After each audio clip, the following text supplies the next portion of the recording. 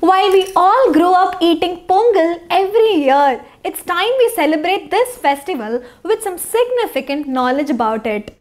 Pongal is the festival of harvest or to put it in simple words, it is the Thanksgiving of India as this festival is all about celebrating and thanking Indradev and Suryadev for helping farmers to get better yielding crops. Pongal is known by different names in different places like Bihu in Northeast, Lohri in Punjab, Bogi in Andhra Pradesh and Makar Sankranti in Bihar, Bengal, Karnataka, UP, etc.